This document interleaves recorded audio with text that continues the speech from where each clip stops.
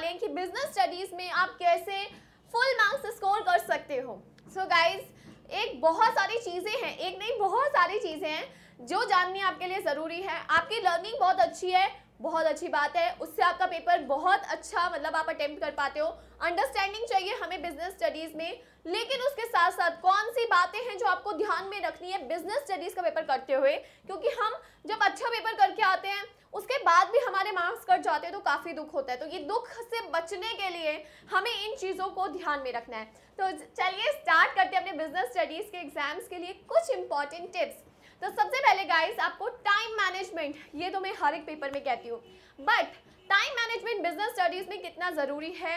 ये आपको इससे पता चलेगा कि आपको जो भी क्वेश्चन गिवन होता है, वो जितने मार्क्स का गिवन है उसका मल्टीपल ऑफ़ टू टाइम आपको दिया जाता है। यानी कि अगर दो मार्क्स का क्वेश्चन है गाइस तो उसके लिए आपको मल्टीप्लाई बाय टू चार मिनट दिए जाते हैं। तो काफ़ी सारे स्टूडेंट एक गलती करते हैं कि छः मार्क्स का क्वेश्चन आधे घंटे में अटेम्प्ट कर रहे होते हैं।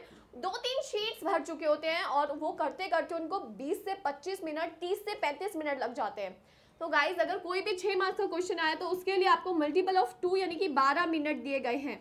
तो इस चीज़ को खासकर ध्यान में रखते हुए आपको पेपर अटेम्प्ट करना है। अदरवाइज़ आपकी प्रेजेंटेशन स्टार्टिंग के क्वेश्चन में तो अच्छी रहती है और बाद के पेपर में डाउन हो जाती है। यानी कि बाद के क्वेश्चन अटेम्प्ट में डाउन हो जाती है। फिर बाद में आप सिर्फ़ क्या करते हो? घसी, घसीटे मारते हैं जिसे कहते हैं ना। मतलब बस लिख दिया, नहीं समझ आ रहा क्या लिखना है, लिख दिया। वो चीज़ नहीं होनी चाहिए। इसलिए स्टार्टिंग से टाइम मैनेजमेंट करना बहुत ज़रूरी है। सेकेंड चीज़ गाइस नेम आइडेंटिफाई करना। नेम आइडेंटिफाई यानी कि बोले तो कई क्वेश्चन में हमें सिर्फ़ नेम आइडेंटिफाई करने को बोला जाता है कि बताओ इस कंसेप्ट का नेम क्या है। तो नेम आपको वहाँ पे आइडेंटिफाई करना है, ठीक है? लेकिन कई जगह पर उसकी एक्सप्लेनेशन भी मांगी जाती है। तो आपको सिर्फ़ नेम आइडेंटिफाई नहीं करना, उसके साथ साथ उसकी एक्सप्लेनेशन यानी कि उसका मीनिंग भी अगर आप लिख देते हो तो उससे आपका क्वेश्चन जो आंसर जो है वो पूरा का पूरा फुलफिल हो जाता है। तो टीचर को कोई भी मौका नहीं मिलता कि आपके मार्क्स कट करे। तो अगर आपका कोई ये क्वेश्चन है जहाँ पे सिर्फ़ मीनिंग मांगा है तो आपको वो नाम लिखकर उसको एक्सप्लेन भी करना है, क्योंकि इसमें हाफ़ मार्क्स उसके और हाफ़ मार्क्स एक्सप्लेनेशन के होते हैं। तो आपको क्वेश्चन को ध्यान से पढ़ना है कि कहाँ सिर्फ़ नेम मांगा है और कहाँ पे उसकी एक्सप्लेनेशन भी बोली है या मीनिंग भी बोला है। तो इस चीज़ का पेपर को करते वक्त ध्यान रखते हैं। काफ़ी सारे स्टूडेंट सिर्फ़ जब मीनिंग बोला होता है तो नेम लिख कर आ जाते हैं। नहीं, वहाँ पर उसकी एक्सप्लेनेशन भी मांगी है, ये चीज़ का ध्यान रखना है। अदरवाइज़ आप कंसेप्ट का नाम लिखाए हो, फिर भी आपको फुल मार्क्स नहीं मिलेंगे। तो इस चीज़ का ध्यान रखना है कि कहाँ आपको एक्सप्लेन भी करना है। थर्ड चीज़ गाइस जो कि बिज़नेस स्टडीज़ के पेपर में मैं हमेशा और हर कोई आपको यही कहेगा कि write in a point wise ठीक है?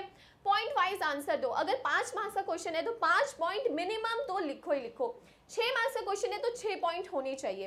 और उन पॉइंट को कैसे प्रेजेंट करना है, वो सबसे ज़्यादा ज़रूरी होता है। जब भी आप किसी आंसर को पॉइंट वाइज लिखते हो तो जैसे आपने नंबर वन पॉइंट लिखा नंबर टू लिखा, जैसे इसकी हेडिंग आपने डाली, उसको अंडरलाइन करो।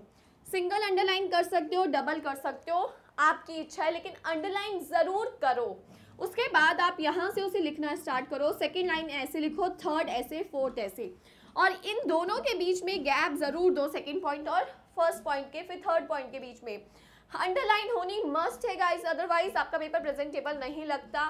नहीं पता चलता कि ये हेडिंग है। तो अगर कोई आप चीज़ की हेडिंग दे रहे हो, उसे अंडरलाइन करना ज़रूरी है। ठीक है? तो पॉइंट वाइज देते वक्त इस चीज़ का ध्यान रखना है। पॉइंट कितने होने चाहिए, ये उसकी वेटेज मार्क्स पर डिपेंड करता है। कम, अगर आप चार मार्क्स का क्वेश्चन अटेम्प्ट कर रहे हो और आप सिर्फ़ तीन पॉइंट लिख के आ रहे हो तो एक्सपेक्ट मत करो कि आपको पूरे चार मार्क्स मिलेंगे। आपको पूरे पॉइंट चार मेंशन करने चाहिए। इसके अलावा स्पेस बिटवीन आंसर गाइज़ एक तो ये स्पेस बिटवीन ये भी पॉइंट में भी। इसके अलावा अगर आपने answer one and answer two attempt किया है तो एटलीस्ट दो से तीन लाइन का गैप ज़रूर दो गाइस ताकि टीचर को पता चले अगला आंसर आ गया है। टीचर इस चीज़ में क्लियर रहनी चाहिए। कई स्टूडेंट्स काफ़ी घिचपिच में क्वेश्चन आंसर कर देते हैं तो वो चीज़ नहीं होना चाहिए। आपको प्रॉपर स्पेस आंसर्स में मेंटेन करना है। कंजूसी नहीं करनी है। इसके अलावा guys case studies case study आप सबको पता होगा। नहीं पता तो मैं बताती हूँ कि अटेम्प्ट करने का एक तरीका होता है, जिसमें हमें पता है कि हमें केस स्टडीज़ में एक पैराग्राफ गिवन होता है और उसके नीचे पॉइंट्स गिवन होते हैं राइट तो हमें अपना केस स्टडी जब भी हम अटेम्प्ट करते हैं, सबसे पहले हमें क्वेश्चन पढ़ना होता है, यानी कि फ़र्स्ट स्टेप ये रीड करना है। सेकेंड स्टेप इसे रीड करना होता है। तो इसी तरीके से करना है। अगर आप पहले इसे रीड करोगे, फिर क्वेश्चन में देखोगे कि क्या ढूंढना है, फिर दोबारा इसी के पास आओगे तो आपका डबल टाइम कंज्यूम हो जाता है। तो ये गलती नहीं करनी। आपको क्वेश्चन को रीड करने के बाद ही केस स्टडीज़ को पढ़ना है और उसमें से जल्दी से आंसर ढूंढना है। ठीक है तो ये केस स्टडीज़ हुआ। इसके अलावा ऑर्डर वाइज जो कि मुझे लगता है सबसे ज़्यादा इंपॉर्टेंट होता है बिज़नेस स्टडीज़ या किसी भी पेपर के लिए दैट इज़ ऑर्डर वाइज यानी कि आप जो भी पेपर अटेम्प्ट करते हो गाइस ट्राई कि वो ऑर्डर वाइज होना चाहिए। One two three four five ऐसे आंसर आपने लिखे होने चाहिए, जिससे टीचर के माइंड में एक इमेज आती है कि आपको पेपर आता था। जनरली कई बार ऐसा होता है कि स्टूडेंट्स को लगता है कि भाई दूसरा क्वेश्चन तो हमें आता नहीं है, तीसरा भी नहीं आता।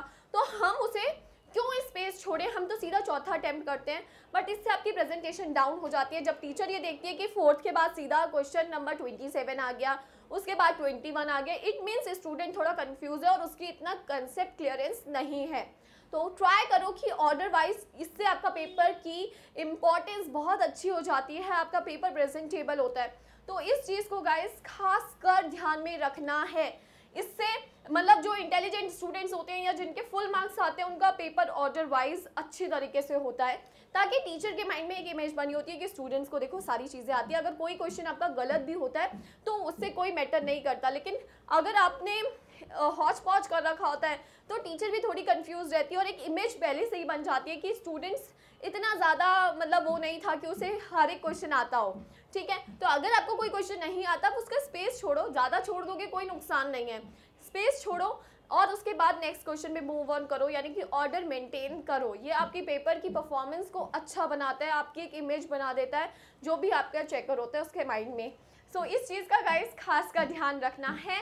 और इन सारी चीज़ों का, ताकि आपका पेपर बिज़नेस स्टडीज़ का अच्छा जा सके। काफ़ी स्कोरिंग पेपर होते हैं गाइस इसमें आपकी लर्निंग अंडरस्टैंडिंग तो होती है। इसके साथ ये इंपॉर्टेंट एस्पेक्ट पे अगर आप ध्यान दोगे एंड आई एम श्योर आप फुल मार्क्स लेकर आओगे।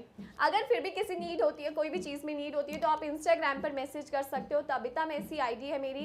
इसके अलावा आप यूट्यूब पर कमेंट कर सकते हो। Thank you